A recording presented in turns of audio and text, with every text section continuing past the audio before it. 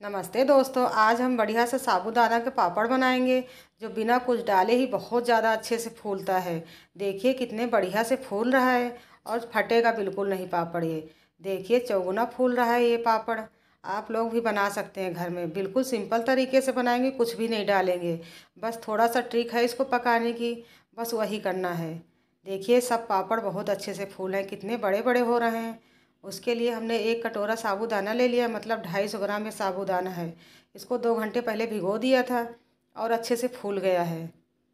फुलाना बहुत ज़रूरी रहता है साबूदाना को। इसको सुबह ही भिगोया था।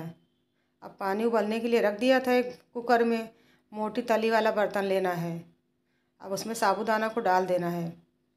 जैसे एक कटोरा साबूदाना लेना है तो पाँच कटोरा पानी लेना है। साढ़े पाँच हो जाए, लेकिन साढ़े चार ना हो। इतना पानी लेना है, पहले पतला देखिए, दिख रहा है एकदम, लेकिन जब पकने लगता है तो पानी बहुत ज़्यादा लगता है। और इसको एक घंटा पकाना अब इसमें आधी चम्मच नमक डाल देना है। जीरा वीरा कुछ नहीं डालेंगे। जीरा डालने से पीला कलर हो जाता तो अच्छा नहीं लगता है। ऐसे बहुत बढ़िया सफ़ेद सफ़ेद पापड़ बनते हैं। अब इसको बीच बीच में चलाते रहना है।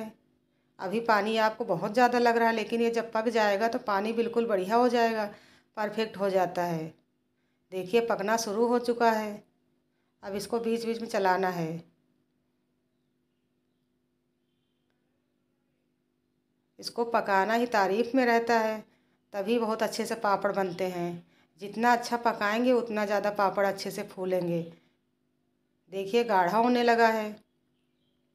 इसमें पेशेंस रखना रहता है क्योंकि लोगों को लगता है कि थोड़ी देर पका लिया, बस हो गया। कम पकाएँगे तो पापड़ धूप में ही फट जाते हैं। जैसे ही डालेंगे, एक घंटे में पापड़ फट जाते हैं। जब ज़्यादा पकाएँगे तो फटते नहीं हैं और बहुत ज़्यादा फूले फूले पापड़ बनते हैं। देखिए, गाढ़ा होने लगा है। देखिए, जब इस तरह से हो जाए, तब तक इसको पकाना है। अभी आपको ये पतला लग रहा है, लेकिन जैसे ही ठंडा होगा परफेक्ट हो जाता है। और बहुत अच्छे से पकाना है। एक घंटे से कम नहीं पकाना है। देखिए, बढ़िया सा ट्रांसपेरेंट होने लगा है। जब ये पक जाता है तो साबूदाना बढ़िया सा दिखने लगता है और गाढ़ा हो जाता है। इसको पूरा नहीं ठंडा करना है, गुनगुने में ही इसको डाल देना है। और मोटे ही पापड़ डालना है, क्योंकि सूखने बाद पतला हो जाता है।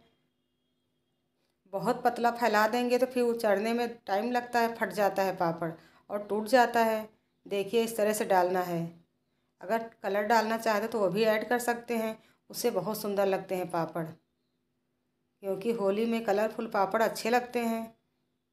देखिए, सूखने लगे हैं।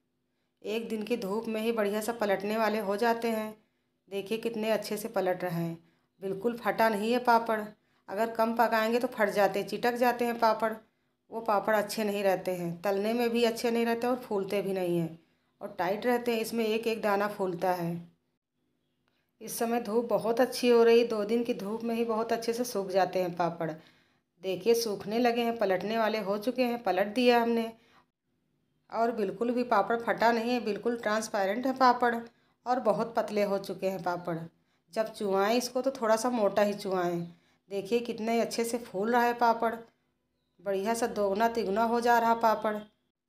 और सारे पापड़ ऐसे ही फूलेंगे, बिना सोडा, बिना पापड़ खाड़ के। बहुत अच्छे से फूलते हैं। देखिए कितने बढ़िया से फूल रहे हैं। बस इसको पकाना अच्छे से है, तभी अच्छे से फूलेगा। एक एक दाना फूल रहा है। बिल्कुल लग ही नहीं रहा ये साबुदाना का पापड़ है। मिक्स हो चुका है। आप लोगों को मेरी ये वीडियो पसंद आई है तो लाइक कीजिएगा और शेयर कीजिएगा। एक बार ज़रूर ट्राई कीजिएगा। वीडियो देखने के लिए